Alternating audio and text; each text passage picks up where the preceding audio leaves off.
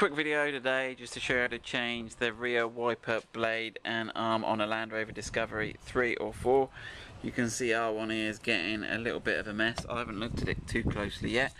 Um, my, our car's over 10 years old now, it's 2005, so we're going to change the blade, the, the arm. The arms can lose their mojo a bit, they lose their spring, and they can start to rust. This one's not too bad actually, but we'll do it all, we'll put a new one on because we smartened up the back of the car and we'd also replace the caps. There's actually three bits involved here. You've got this little plastic cap here, which there's a little, there's a little sort of screwdriver slot there you can see at the top.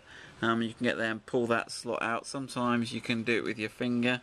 Often these are missing uh, and they, they fade. So there's the little cap. That's how to remove that but yeah. Um, so you've got the cap, you've got the arm itself, and then you've got the wiper blade, which is this little bit that wobbles about here. Now the wiper blades unclip, so let's have a go at doing that, shall we? Kate, you're going to come and hold the camera for a minute. Okay. So we'll put all the bits for sale online now, do you reckon? So they, they push that way, don't they, Kate? Let's yeah, have a look. We got a little tab to... Oh, there we go. Look, yeah, okay. So let's have a go with that. Oh, there he's going. I don't want him to... That's it. Right, um, so yeah, what I did there was I got to push that little tab in there and it released that little clip so that you can slide it down but you have to slide it back into the car back into the hinge and then pull them out and you can see there Kate can show them that there's a little hook there so the new one would be a question of just popping that on but we're gonna go one step further and we're gonna actually remove this um, this arm. So we've got a socket here. We've got a 13 millimeter socket.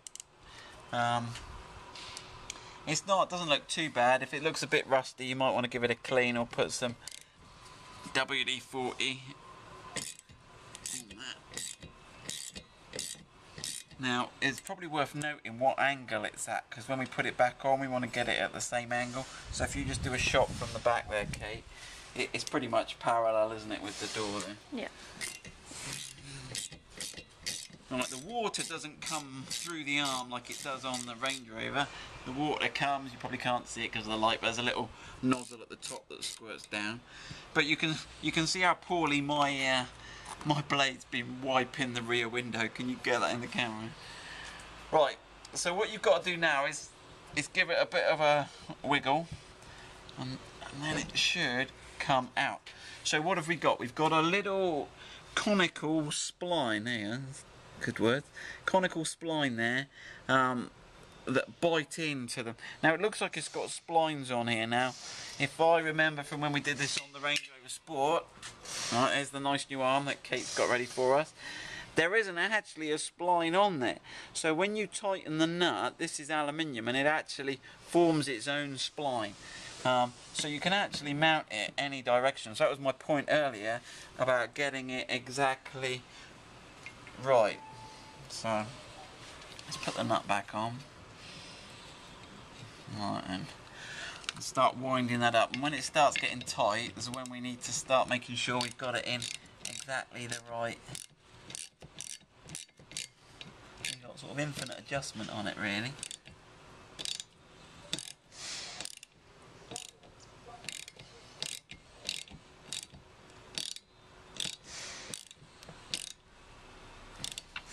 Still not there yet.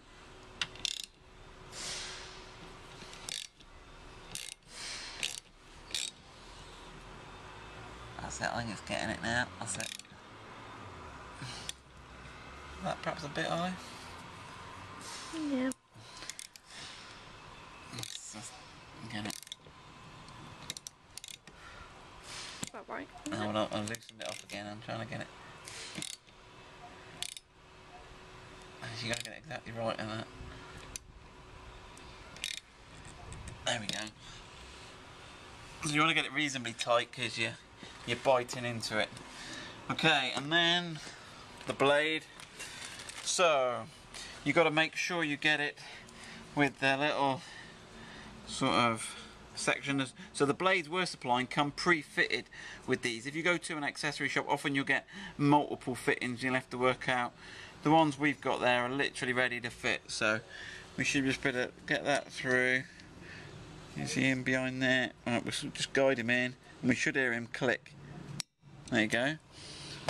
That's that, and then the cap. So a brand new cap, finishing touch. There we go. So that's the three-piece Discovery 3 4 rear wiper replacement.